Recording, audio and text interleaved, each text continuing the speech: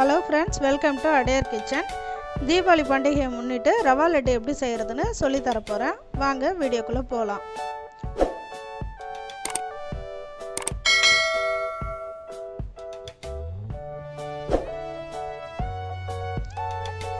சர்க்கரை ஒரு கப்பு.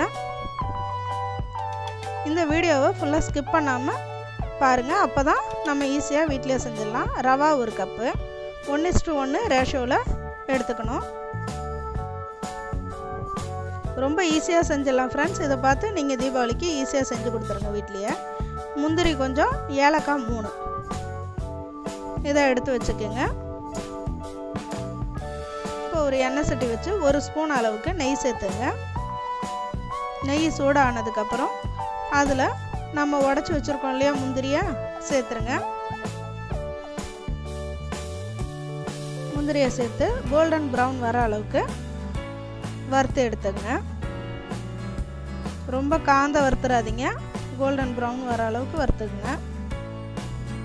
அந்த கலர் மாறிட்டாலும் முந்திரியோட டேஸ்ட் மாறிடும். இப்போ நான் இந்த பதத்துக்கு வறுத்துட்டேன். அதே எண்ணெய் சட்டியில் ரவாவை வறுத்து எடுத்துக்கிறேன். அதில் கூட மூணு ஏலக்காவையும் சேர்த்துட்டேன் அதை வந்து தனியாக மிக்சியில் பவுட்ரு பண்ணிக்கணும். இருபத்தஞ்சி எம்எல் அளவுக்கு நெய்யை ஊற்றி சூடு பண்ணிக்கணும்.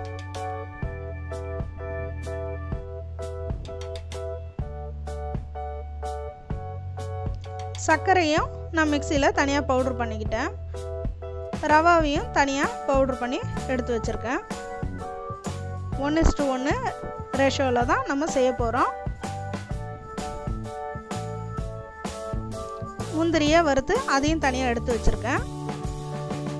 இப்போ ஒரு பாத்திரம் வச்சுட்டு அதில் ஒரு கப்பு சுகர் பவுடரை சேர்த்துட்டேன். ரவாவை ஒரு கப்பு சேர்த்துட்டேன். அந்த ரவாவிலேயே ஏலக்காவையும் சேர்த்து போட்டு மிக்சியில் பவுட்ரு பண்ணிட்டேன். பண்ணி அது ஒரு கப்பு சேர்த்தாச்சு.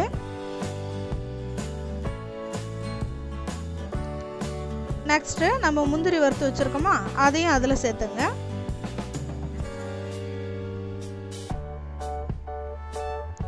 இப்போ நம்ம நெய்யை சூடு பண்ணியிருக்கோம் இல்லையா? இருபத்தஞ்சி எம்எல் இந்த சின்ன குழி கரண்டியால் நான் மூணு க மூணு குழி கரண்டி அளவுக்கு நான் அதில் நெய்யை ஊற்றிடுறேன் சூடாகவே நல்லா சூடு பண்ணியே ஊற்றுங்க பிகினர்ஸ் வந்து கொஞ்சம் நெய்யை சேர்த்துக்கிட்டிங்கன்னா அதிகமாக சேர்த்துட்டு செஞ்சிங்கன்னா ஈஸியாக பிடிக்கிறதுக்கு வரும்.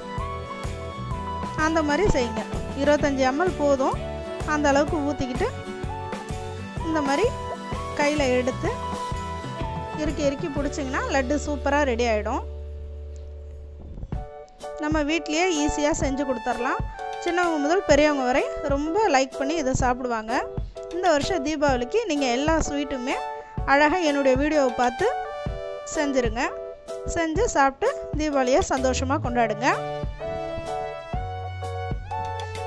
இப்போ அடுத்த லட்டும் அதே மாதிரி செஞ்சு காட்டுறேன் பாருங்கள் இந்த மாதிரி கையில் மாவை எடுத்துட்டு அப்படியே கொஞ்சம் கொஞ்சமாக இறுக்கி அப்படியே டைட் பண்ணி டைட் பண்ணி பிடிச்சிட்டு ரெண்டு கையாலையும் அப்படியே லைட்டாக அழுத்தி அழுத்தி பிடிக்க வேண்டியதான் ஃப்ரெண்ட்ஸ் இந்த டிஷ் உங்களுக்கு பிடிச்சிருந்தா லைக் பண்ணுங்கள் ஷேர் பண்ணுங்கள் கமெண்ட் பண்ணுங்கள் சப்ஸ்கிரைப் பண்ணுங்கள் கூடவே பெல் ஐக்கானை ப்ரெஸ் பண்ணுங்கள் எங்களுடைய அடுத்தடுத்த வீடியோ உங்களுக்கு அப்டேட் ஆகும். Thank you friends